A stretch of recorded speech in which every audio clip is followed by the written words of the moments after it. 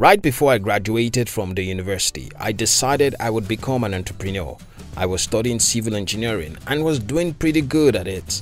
But I had a passion for writing that wouldn't go away and so I was determined I would become a writer. After graduation, I started my NYSC program, National Youth Service Corps. I would wake up very early to write for at least 30 minutes daily. For two years, I spent most of my mornings just writing and publishing on blogs. As soon as I completed my NYSC program, I was flustered about what to do next. I hadn't imagined I would get a job. Never had. Friends and families expected me to take a job. I was determined to write for a living instead. I followed the latter. In less than two months after completing my NYSC program, I was offered an opportunity to edit a book for a big company. The project launched me into writing full time. After completing that project, I knew there was no going back. I would become a writer, but this did not come so cheap. Facing the challenge. Sometimes I would wake up with doubts about the path I have chosen. I would shudder with regrets about the choice I had made. As a budding entrepreneur and as a young person, I had very little understanding of how to grow my business. I worked tenaciously to grow my clientele since my business was just growing. I had a few paying clients. At this time, I still lived with my parents. I'm grateful to God for the decision I made to follow that path. It was tough going through that path, but it was worth it in the long run. I didn't become a better writer by running away from the challenge. I became a full-time writer who made his living just writing for so many years because I stuck to the path against all odds. You see, we don't do so much because we don't challenge our ability. We don't become all God has made us to be because we do not place a demand on the ability He has placed within us. We limit our potentials and therefore we are unable to become the best that we can be. We stall. We make excuses. We give reasons why this great life is not meant for us. We look at the challenges before us and the unfavorable experiences we have had in the past, and soon we allow those things to overwhelm us. We allow them to becloud our judgments. Soon we are hindered from doing what we ought to be doing, not because we cannot do them, but because we have been looking at the wrong things. In looking at the wrong things, we have allowed negativity to plunge through our energy to crush our ability. You have what it takes. Listen, God's ability is resident within you as a young person. The glory of the youth is their strength, the Bible says. This is enough proof that what you have within you is great enough to overcome and push you beyond what you are going through as a young person. The dream God has placed within you could never be truncated by the challenges you are facing outside of you. Challenges or excuses have no power over you except the power you give them. They may be tough and rough, but they have no might over you except the one you give to them.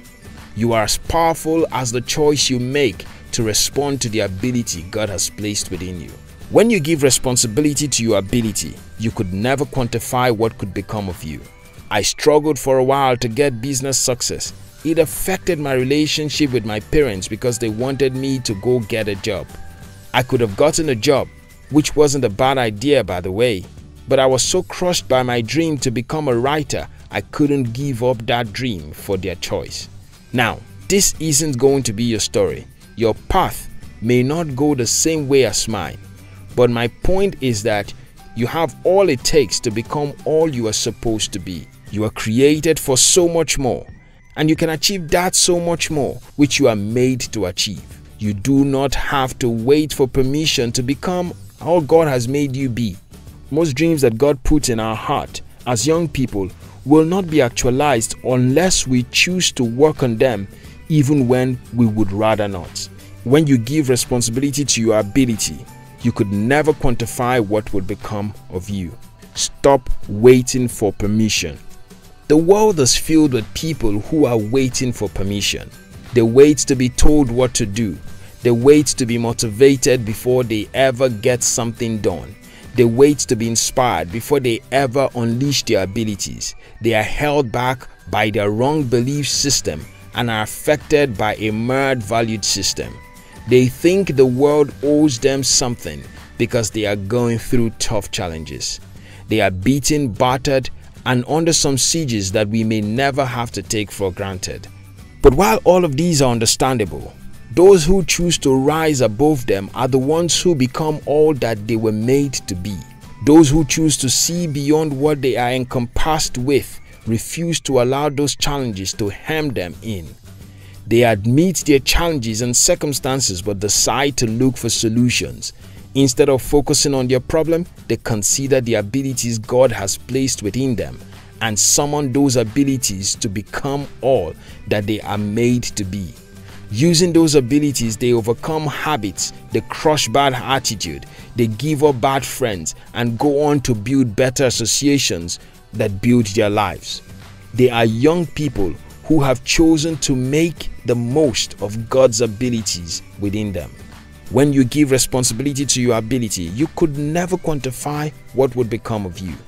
The world is filled with people who wait for others to hand them the permission to live their best life. They do not become all they are supposed to be because they do not allow the best in them to come forth. You don't have to be like that. God made you for so much more. If He knew you couldn't achieve what He has given you to do, He wouldn't demand it from you. God will never ask you to do what He has not equipped you for. Whatever He has asked you to do, you have been given the grace that would equally carry you through. Give up excuses start taking responsibility. I have been there and done that many times, giving all the excuses why I couldn't do or be all that God wanted me to. Until I started to tell myself that God didn't raise me with these excuses. I saw in God's word that God was never unfaithful. Whatever you are faced with, He would equip each one of us to achieve that thing. I didn't believe I would become a writer or become a better entrepreneur after my undergraduate studies, but I did. I wasn't lucky, I just had a bit of faith, and that was enough to carry me through. God is never unfaithful. He gives you enough faith to carry you through whatever He has placed in your heart to do. You want to make the world a better place with your dream. He supports you to do it by equipping you with all the abilities you need to do so. You have all that you need to become all that you were made to be. Your own responsibility is not to wait for permission because no one will do for you what you alone can do for yourself. No one will achieve the kind of life you were created to achieve. You alone can find your path and choose to follow that path, however hard the path may be, and the path will be difficult sometimes. And to always remember God gives you grace that is equal to the task He has given you to do. Use that grace. Stand up to responsibility before you as a youngster.